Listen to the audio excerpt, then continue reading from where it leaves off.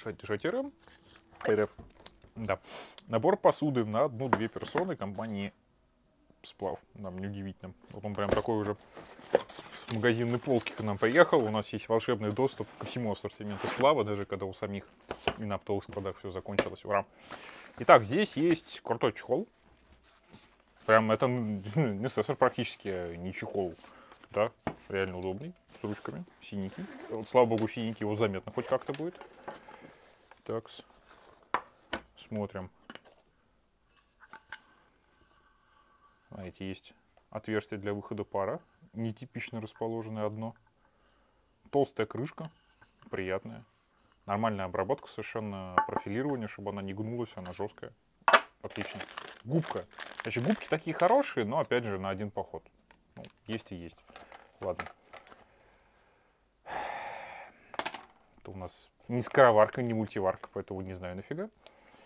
Значит, э, половничек вот такой на любителя, но опять же на полутора, двух, трех людей он годится. Минус он не глубокий, есть половники более глубокие, и сделан он по-китайски, ну есть и хорошо. Ну, лопаточка, я не знаю, она довольно много весит. Я бы скорее ложкой бы шкрябал пластиковый, полипропиленовый. Но если у вас ложки стальные, то да, согласен. Две мисочки. Э, у меня у котиков больше.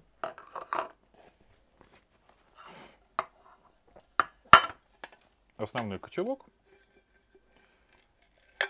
Ну, то совершенно не имеет никаких вкусов конструкции. Плоское дно, плоские стенки, небольшой ободок путем сгинания алюминия изготовленный. А, вот эти вот ручки, пластик реально термостойкий. Сначала сгорит котелок, потом эти ручки. Поэтому в костер, в принципе, можно ставить, если необходимо. И не боитесь за алюминий, то есть не нужно ставить на угли, прям вот на дерево. Нормально, ничего не должно случиться. Вот. И крышечка. Крышечка также может использоваться как сковородочка. Да, по сути, она и является сковородочкой.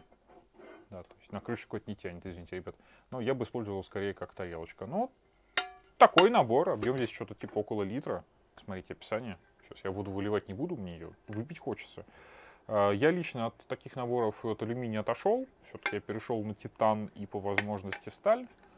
А, Потому что титан легкий, сталь живучая и относительно дешевая и живучая, чем алюминий. Вот. э, А еще больше перешел на турбогорелки. Но первые 3-4 года туристической жизни я как раз вот очень похожий набор, только намного более халтурно сделанно использовал, и было все со мной хорошо. Суть того, что берут его регулярно-регулярно, это что-то отвечающее чаяниям масс. Я, опять же, не брал бы вот это все, да, я думаю, что, ну, половничек может быть, я бы обошелся бы, наверное, своей ложкой полипропиленовой пластиковой, и сковородочку я бы тоже не носил, а котелок, он прям зачетный, можно пихать в костер.